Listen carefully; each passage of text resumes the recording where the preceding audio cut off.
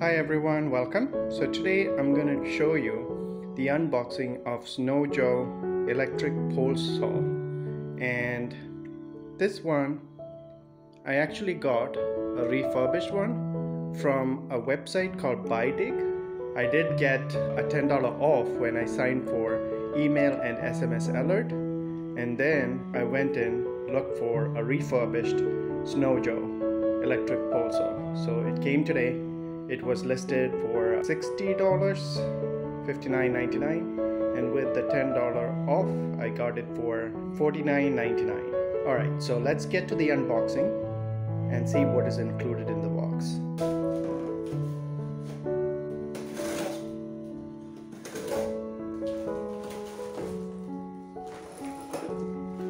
So it is factory refurbished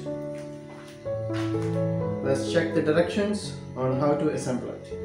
So this is uh, actually a 10 inch 8 amp electric pole saw. Its model number is SWJ803ERM and it's a little more powerful. It's listed for $100 uh, on some Sun Joe website. So um, when I did a little bit of review, I heard Sun Joe was a better pole saw than um, most others out there which is very economical and uh, I did get it for $50 so it says using the tool open up this cover I believe. So let's go ahead and give it a shot. There we go. It's open and unscrew the nut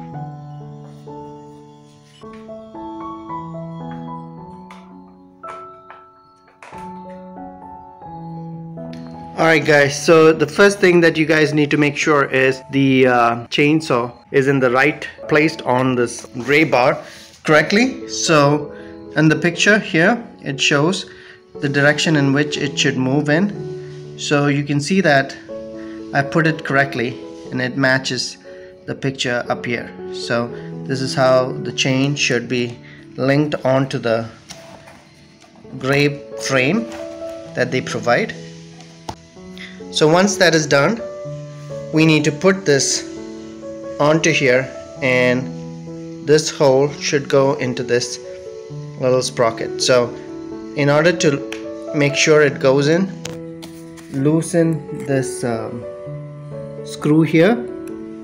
So once you loosen the screw here the sprocket can that little um, screw can move up and down so you can put this easily. Let's go ahead and put this onto the uh, chainsaw. And again put this chain back on. And now it's fit. And I need to go ahead and tighten spin here. So let's go ahead and do that. And for that to show you guys I'm gonna turn this this way and tighten it so now let's turn it this way again. Okay and I'm gonna tighten it from the bottom.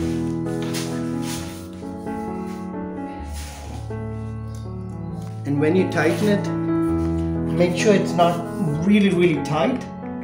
It should be just tight enough so that your uh, your screwdriver or the provided uh, tool doesn't turn with not too much pressure on it. So I'm just gonna tighten enough. Okay, that should be good. So once that's tightened it should uh, be able to rotate. If it cannot rotate it means it's too tight.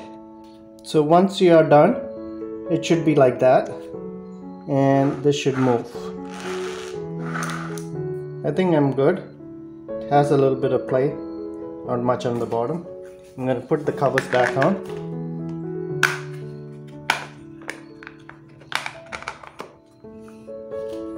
And tighten down the screw.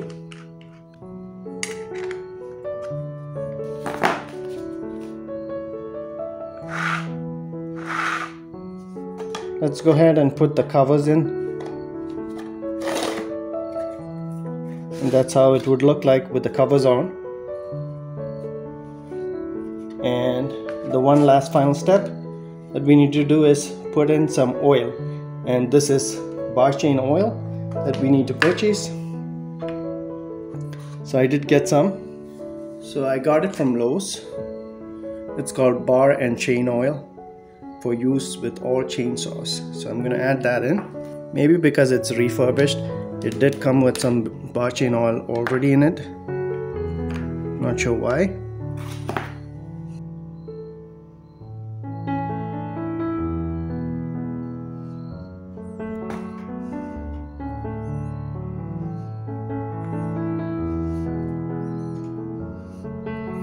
Once you have filled it with the chain oil, just go ahead and close the lid. So we are all set to go. Just put on the final cover for the nut.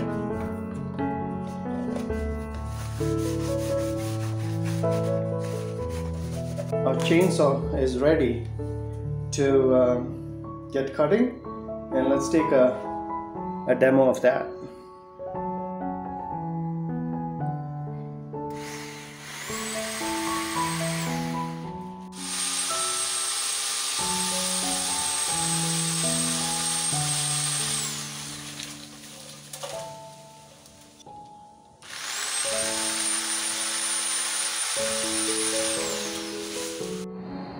So guys, after cutting the branches, I just wanted to give you some idea on how the Sun Joe pole saw worked for me. One of the things I have to say is it worked great. It was like cutting through butter. That's how I would put it. It was such an easy job. Although it is not recommended to cut branches on a ladder with a pole saw, I had to get on top to cut it and I had to use the ladder. But everything turned out great cut a few branches but a couple of feedback that I have after the use of the pole saw. One is from the electric outlet. Once you plug in the extension cord, it kept falling when I was up on the ladder. So it was kind of hard to, I had to come down, put it back. So basically, once I put the extension cord in, I had to tape it. Once I put it in and then taped it, it was good. The other feedback that I have was once I started using it, this oil cap up on top opened up. Towards the end of the work the oil uh, what was inside which was not much came out. It may be because I didn't shut it properly. That could be the case. So the last feedback that I have was on the grip handle if you notice there was some like minor cracks which is not uh, a big issue like here I could tape it down. It's just on the pole, so um, it's it's the grip handle. So that's the only other feedback that I have. That shouldn't be a problem. The other thing that I like about this uh, pole saw is that one, it is electric. It um, has constant power. The second thing is it is an 8 amp motor. Chainsaw itself is a 10 inch, which is larger than most out there. The other thing I forgot to show was this little um, knob. If you turn this, you could adjust the angle. So here it shows the degrees. Right now it's straight. I'm going to tilt it.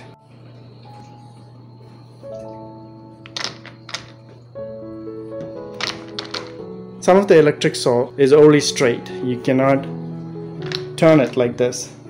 So once you turn it like this you get an angle and you can cut your branches at that angle if you want.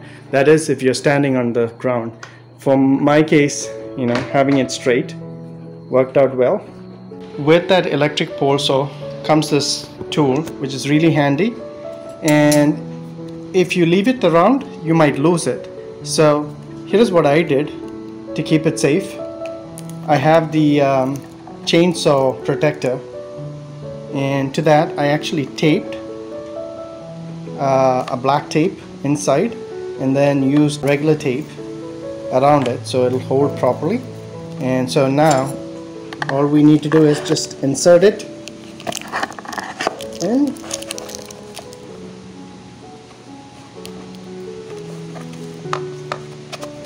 Insert it in and it'll be safe.